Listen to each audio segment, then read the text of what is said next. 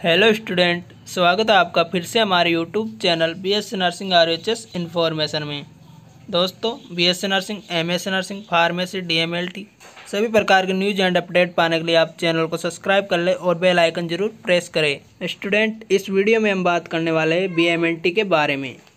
पिछले वीडियो में हमने बात की थी डी एम एल टी के बारे में। अभी तक आपने अगर वीडियो नहीं देखा है तो लिंक डिस्क्रिप्शन में दिया गया है। आप वहाँ पर जाकर डी एम एल टी की पूरी जानकारी ले सकते हो। अब हम बात कर लेते हैं B M L T course के बारे में। इस वीडियो में हम आपको बताएँगे कि B M L T course क्या है, इसकी फुल फॉर्म क्या होती है, ये कितने साल का कोर्स होता है, इसकी योग्यता और फ़ीस कितनी है कौन कौन सी सरकारी कॉलेज है, इसका एडमिशन प्रोसेस और जॉब स्कोप क्या है। B M L T course Hindi में होता है या इंग्लिश में, ये सब कुछ पूरी जानकारी आपको इसी वीडियो में हम बताएँगे तो आप वीडियो को पूरा देख लें और बी एम एल टी के बारे में पूरी जानकारी प्राप्त करें। तो स्टूडेंट अब हम इनके बारे में जान लेते हैं। तो student B M L T एक ग्रेजुएशन कोर्स है। इसका full form bachelor in medical laboratory technology होता है। B M L T course तीन ईयर्स का कोर्स होता है। इसमें छः मंथ की इंटर्नशिप होती है। बी एम एल टी का इम्पोर्टेंट पार्ट हम जान लेते हैं। B M L T course करने के लिए क्या योग्यता होनी चाहिए? तो student B M L T course करने के लिए आपको बारहवीं पास करना होगा बायोलॉजी ग्रुप से। अगर आपके पास मैथमेटिक है तो आप बी एम एल टी नहीं कर सकते हैं। और ट्वेल्थ क्लास में एस टी एस सी वालों के पैंतालीस प्रतिशत मार्क्स और अदर कैटेगरी वाले के मिनिमम पचास प्रतिशत मार्क्स होना ज़रूरी है, तभी आप B M L T course कर सकते हो। अब जान लेते हैं कि बी एम एल टी करने में कितना खर्चा लगता है। तो स्टूडेंट, सभी कॉलेज की फ़ीस अलग अलग होती हैं। जैसा कि स्टूडेंट, किसी कॉलेज की फ़ीस है बीस हज़ार से एक लाख बीस हज़ार तक। ये फ़र्स्ट ईयर की फ़ीस है तो किसी कॉलेज की फ़ीस अस्सी हज़ार होती है। इस प्रकार अलग अलग कॉलेज की अलग अलग फ़ीस होती हैं। ये फ़ीस हमने बताई है वो प्राइवेट कॉलेज की है। आपका टोटल खर्चा तीन ईयर का प्राइवेट कॉलेज में तीन से चार लाख रुपए लग सकते हैं। अब हम बात करते हैं गवर्नमेंट कॉलेज में कितनी फ़ीस लग सकती हैं। तो फ़र्स्ट ईयर की फ़ीस होती है, वो बीस से पच्चीस हज़ार रुपये होती हैं। तो गवर्नमेंट कॉलेज में आपका काफ़ी कम खर्चा होता है। अब हम जान लेते हैं कि बीएमएलटी में एडमिशन का प्रोसेस क्या है। तो स्टूडेंट इसमें तीन प्रोसेस होते हैं। फ़र्स्ट है एंट्रेंस एग्ज़ाम के थ्रू आपको एक एग्ज़ाम देना होगा, उसमें जो मार्क्स आएँगे, उसके थ्रू आपका एडमिशन होगा। इस एग्ज़ाम में आपको ट्वेल्थ क्लास के ही क्वेश्चन पूछे जाएँगे। उसके आधार पर आपका कॉलेज प्राप्त होगा। सेकंड होता है मेरिट लिस्ट के आधार पर। कुछ प्राइवेट कॉलेज ऐसे होते हैं जिसमें मेरिट लिस्ट बनाई जाती है ट्वेल्थ क्लास के आधार पर और उसके बाद डायरेक्ट एडमिशन लिया जाता है। तीसरा जो एडमिशन का प्रोसेस है, वह है डायरेक्ट एडमिशन। इसमें डोनेशन देकर आप डायरेक्ट कॉलेज में एडमिशन ले सकते हो। अब जान लेते हैं कि बीएमएलटी कोर्स इंग्लिश में होता है या हिंदी में। तो student BMLT course total English में होता है, हिंदी में नहीं होता है। तो आपका अगर इंग्लिश अच्छा है तो आप बीएमएलटी कोर्स कर सकते हो। अगर आपका इंग्लिश वीक है, फिर भी आप बीएमएलटी कोर्स कर सकते हो। अब हम बात कर लेते हैं बीएमएलटी कोर्स के सिलेबस के बारे में। तो स्टूडेंट जैसा कि आप देख पा रहे हो, यह है बी एम फ़र्स्ट ईयर का सिलेबस इसमें टोटल आठ सब्जेक्ट है। फ़र्स्ट है हाइमन फिजियोलॉजी सेकंड है हाइमन एनाटॉमी थर्ड है बायोकेमिस्ट्री फोर्थ है health education and communication fifth subject है terminology and general part of the body six है मस्कुलर स्केलेटल सिस्टम सेवन है रेस्पायरेटरी सिस्टम और एट है डाइजेस्टिव सिस्टम तो ये फ़र्स्ट ईयर का सिलेबस था.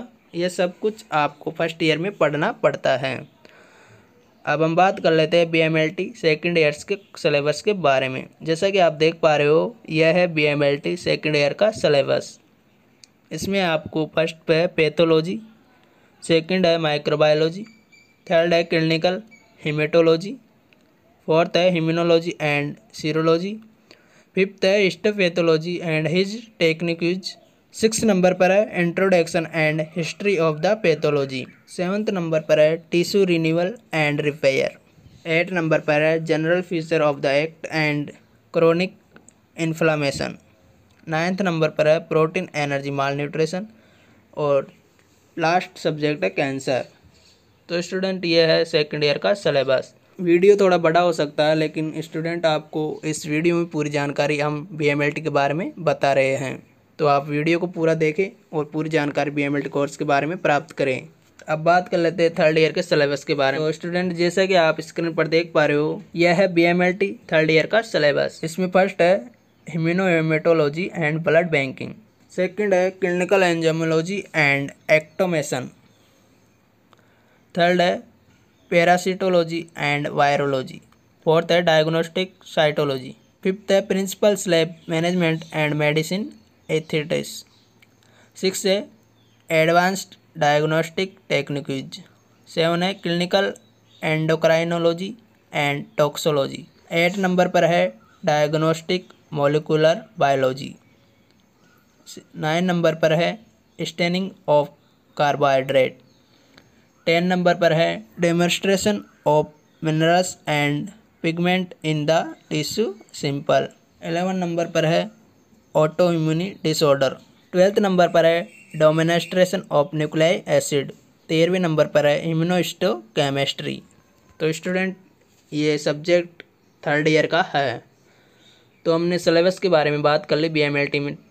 थर्ड ईयर तक सिलेबस होता है, जो हमने आपको बता दिया है। अब हम बात कर लेते हैं कि पी एम एल टी करने के बाद सैलरी कितनी मिलती है।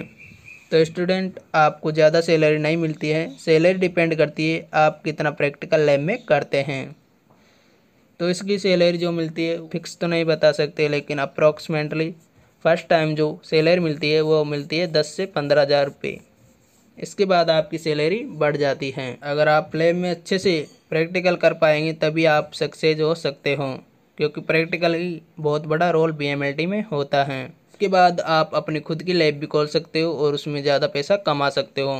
अब हम बात कर लेते हैं बीएमएलटी में जॉब स्कोप और कैरियर के बारे में।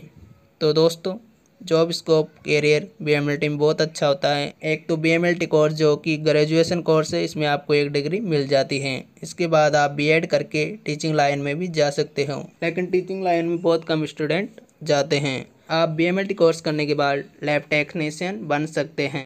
Student B M L T course सबसे बढ़िया कोर्स है। ये कोर्स आपके लिए फ़ायदेमंद भी रहेगा, क्योंकि इस B M L T course को बहुत कम स्टूडेंट करते हैं और इसमें जॉब भी जल्दी मिल जाती है। तो स्टूडेंट इस वीडियो में हमने आपको पूरी डिटेल बता दी है बीएमएलटी के बारे में। अगर अभी भी किसी प्रकार का डाउट हो तो हमें कमेंट करके बताएँ। अगर स्टूडेंट आपको वीडियो अच्छा लगा तो लाइक करें कमेंट करें और दोस्तों के साथ शेयर करें। इसके अलावा स्टूडेंट आप चाहते हैं कि बीएमएलटी की कौन कौन सी कॉलेज है तो उसके बारे में हम बता देंगे। आप कमेंट करके हमें बताएँ। अगर दोस्तों आपने अभी तक DMLT के बारे में वीडियो नहीं देखा है तो लिंक डिस्क्रिप्शन में दिया गया है। आप DMLT के बारे में पूरी जानकारी प्राप्त कर सकते हो। और आपको एंट्रेंस एग्ज़ाम के लिए किस प्रकार से तैयारी करनी है, हम आपको बता देते हैं। अगर स्टूडेंट आप नीट की तैयारी इंग्लिश में करना चाहते हो तो उसके लिए आपको ये बुक खरीदनी होगी। बहुत ही अच्छी बुक्स है लिंक डिस्क्रिप्शन में दिया गया है। अगर आप नीट का एग्ज़ाम हिंदी में देना चाहते हो तो उसके लिए आपको ये बुक खरीदनी होगी। इनका लिंक भी डिस्क्रिप्शन में दिया गया है।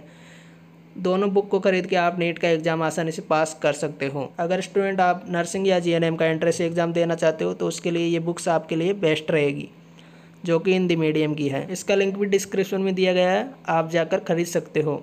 अगर स्टूडेंट आप बी नर्सिंग और जी का एंट्रेंस एग्ज़ाम इंग्लिश में देना चाहते हो, इसका लिंक भी डिस्क्रिप्शन में दिया गया है।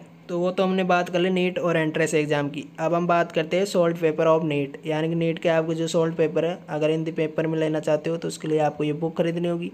अगर इंग्लिश में आप सोल्ट पेपर लेना चाहते हो तो उसके लिए भी ये बुक्स का आपको खरीदनी होगी। इसका लिंक भी डिस्क्रिप्शन में दिया गया है।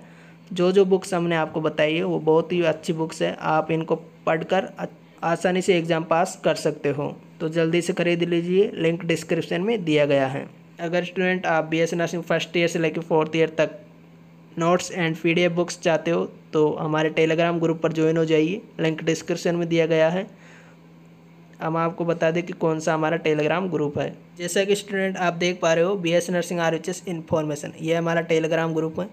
इस ग्रुप में आपको B S nursing first year से लेकर फोर्थ ईयर तक आल बुक्स और पीडीएफ नोट्स मिलेंगे, जो कि आप देख सकते हो, सब कुछ हमने डाल रखा है। आप ग्रुप में ज्वाइन होके सब कुछ आप पढ़ सकते हो या अपने मोबाइल में भी ले सकते हो। इसके लिए आपको टेलीग्राम ग्रुप पर ज्वाइन होना है। लिंक डिस्क्रिप्शन में दिया गया है। अगर आप लिंक से ज्वाइन नहीं हो सकते हो तो टेलीग्राम ग्रुप ओपन करके B S nursing R H S information search करना।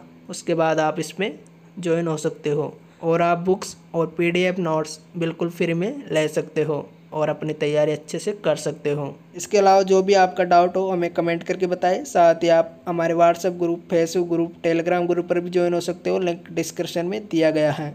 थैंक यू फॉर वॉचिंग मिलते हैं नेक्स्ट वीडियो में.